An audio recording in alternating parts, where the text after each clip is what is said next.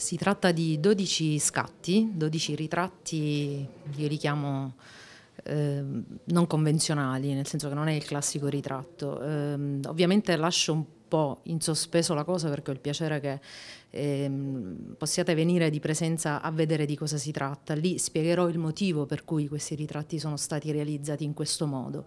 E, ehm, I soggetti sono delle donne del centro Coesi di Valderice richiedenti asilo e tra di loro ci sono anche tre bellissime bambine.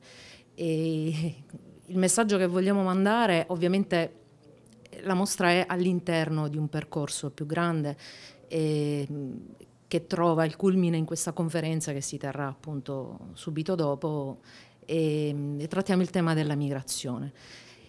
Ma verrà trattato in un modo eh, anche lì un po' anticonvenzionale perché eh, abbiamo pensato di non diciamo, scadere nell'ovvio e quindi anch'io fotograficamente ho preferito realizzare degli scatti più particolari piuttosto che eh, il classico ritratto delle donne di colore che comunque hanno fatto un loro percorso per sicuramente trovare una nuova vita. L'obiettivo dovrebbe essere quello di suggerire un modello di integrazione, anche se come ho detto in altre circostanze eh, il sostantivo integrazione un po' mi dà fastidio, perché integrare eh, qualcuno qualcosa eh, significa considerarne la diversità quindi mh, di diversità io non vorrei parlare. Eh, durante la conferenza è stato chiesto l'intervento anche di Mariangela Miceli, che è un'esperta di diritto internazionale, affinché eh, si tenti di combattere contro quei luoghi comuni dell'accoglienza. quindi ci sarà un focus sicuramente sulle leggi che riguardano e regolano il comportamento della comunità internazionale.